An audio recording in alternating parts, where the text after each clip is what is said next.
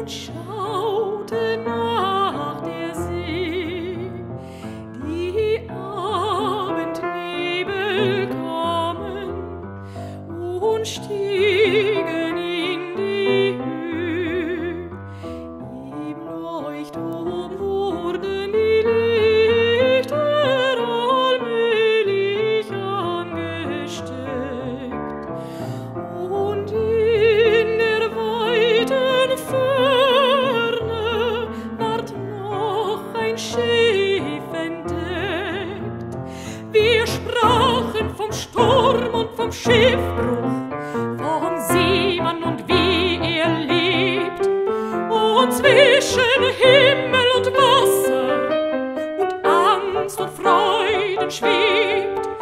Wir sprachen von fernen Küsten, vom Süden und vom Norden.